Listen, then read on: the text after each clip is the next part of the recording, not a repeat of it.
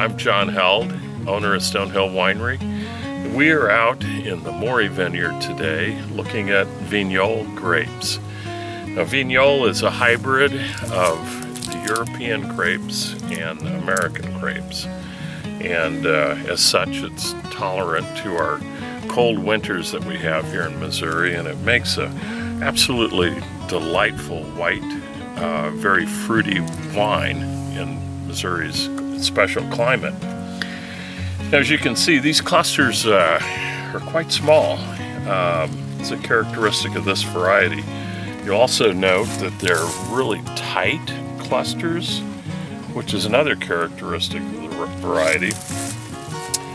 And uh, that's one of the challenges of growing this because the tightness of these clusters when they begin to ripen as they are now, and if you look closely, they're softening. Uh, two weeks ago, they weren't soft at all. They were hard as marbles. And now they're softening, which we call veraison, which is the transition to the ripening stage in the vine.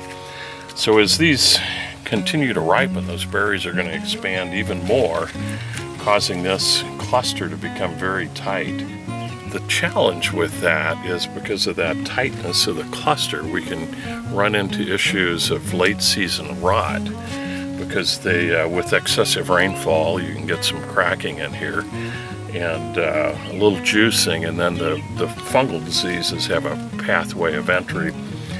So it's it's a very challenging grape to grow uh, that is subject to Mother Nature, on, you know, and the quality.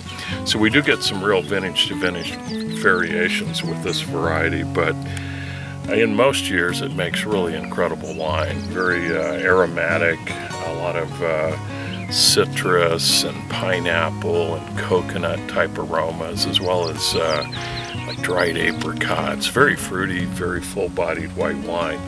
And it's a, a wine that uh, Stone Hill makes in about three different styles. We do a, a dry version, a reserve vignole, a varietal vignole, it's a Germanic uh, semi-sweet wine. And then in special years where we're able to, to let some of the fruit hang beyond what we consider standard ripeness, uh, we'll let them hang another five, six weeks and have a late harvest wine, which is a very sweet, intense dessert style wine.